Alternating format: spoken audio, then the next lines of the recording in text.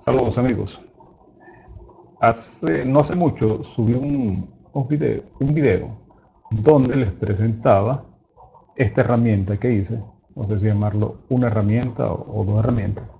Pero bueno, este, les presentaba la herramienta esta que iba a, ayudar muchísimo en la comodidad a la hora de armar una cerradura de pomo.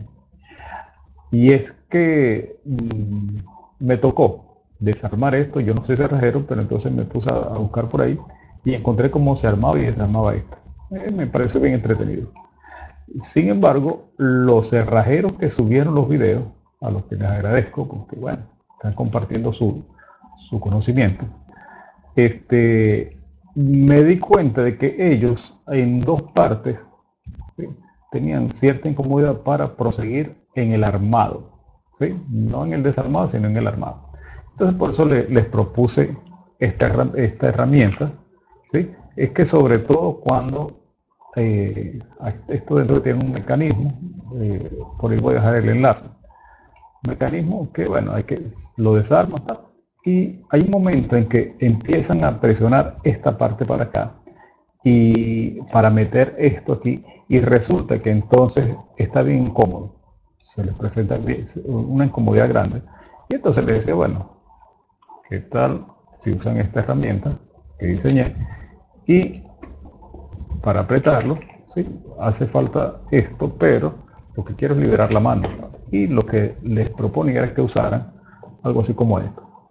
Bueno, y esto se lo propongo a cualquiera, ¿no? Entonces, eh, subí, la, subí el video y se les envié el enlace a unos cerrajeros de YouTube que tienen videos en YouTube.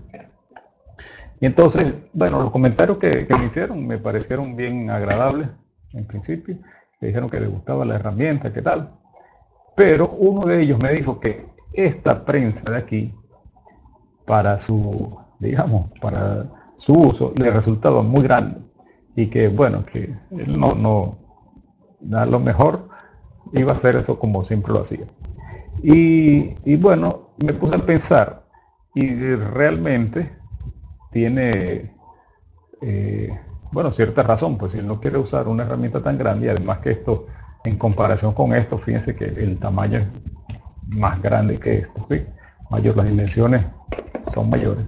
Entonces me puse a pensar, bueno, pero yo lo que quiero es mantener esto así, liberar las manos, que sea cómodo para poder trabajar. ¿sí? Y era, como les decía, era para el mecanismo esto, una vez que tienes o tiene unos resortes allí, era para colocar esta parte y esta piecita de aquí.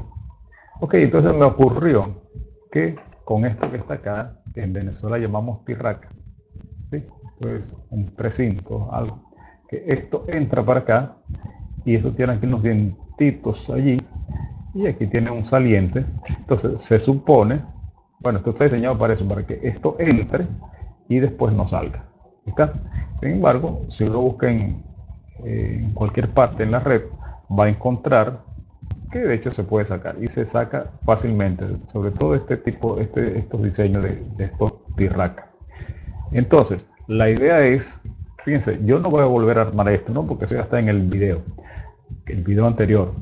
Y entonces, la cosa es que eh, yo quiero mantener esto presionado y no quiero, en este caso, usar esta prensa. ¿Está bien? No la quiero usar.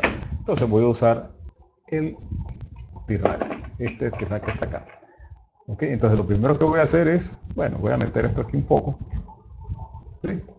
Y ahora voy a colocar esto aquí de esta manera, así, y ahora voy a presionar allí, pero voy a presionarlo más todavía para que quede como lo, como lo necesito. ¿Está bien?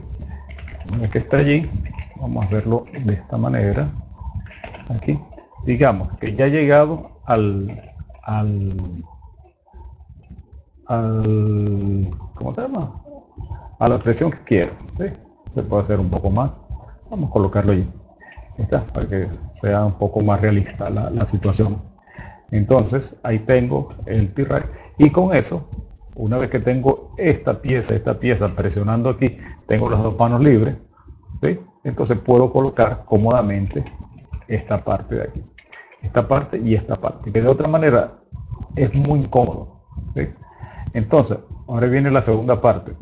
¿Cómo hacemos una vez que, que armemos, que tenemos esto, para, porque después de esto viene esta parte, viene, vienen otras partes por ahí. Entonces, para sacar esto, fíjense que es posible que esto no pueda salir por aquí. Pero, y además de eso, si quisiéramos reusar el T-Rack, hay que sacarlo.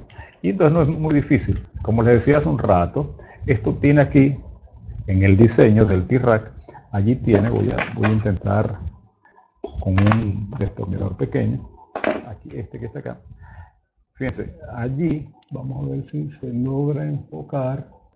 Bueno, aquí tiene unos dientes, allí se ven un poco. ¿Sí? Tiene unos dientes y aquí tiene un saliente. La piecita esta, que parece como candado ahí, digamos. Entonces, la idea es meterle, puede ser una aguja, yo en este caso estoy usando este destornillador plano delgadito, entonces meterle entre este, este lado y la pieza esa algo que me ayude a liberar.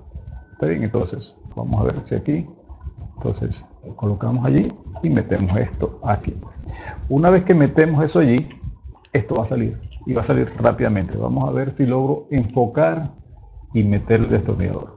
Entonces, vamos a ver aquí, coloco aquí, aquí, meto allí y ahora esto sale cómodamente. Bien, y el T-Rack no se maltrató. Y si se llegó a doblar un poco, bueno, lo, empujamos un poco para acá, pero no se dobló, no quedó doblado permanentemente, sigue siendo funcional. Entonces aquí tenemos una solución, una solución alternativa al uso de esta, de esta prensa que para este caso resulta, puede resultar muy grande. Bueno, eso es lo que, lo que les quería presentar en este video, pero además de eso les voy a a invitar a un próximo video que voy a subir también, donde les voy a decir la manera de sacar, vamos a quitar esto de aquí y esto de aquí, la manera de sacar este seguro de aquí, esto que parece como un anillo allí, ¿sí? que también es otra parte que vi que los cerrajeros tienen incomodidades para sacar eso. Entonces encontré una forma muy cómoda, muy cómoda perdón, de sacar eso y bueno, sobre todo para cuando quieren, eh, no sé, hacerle una llave a esto, cambiarle la cerradura, el cilindro que tiene allí. Bueno, eso lo voy a hacer luego. Entonces, bueno, eso es todo lo que les tenía por ahora. Eh, si les gustó lo que, lo que vieron, los invito a que le den like. Vamos a colocar aquí también el T-Rack. Les invito a que le den like, a que compartan y a que se suscriban para que Mm, estén al tanto cuando suba otro video. Entonces, bueno, eso es todo. Saludos, sean felices y nos vemos en el próximo video. Chao.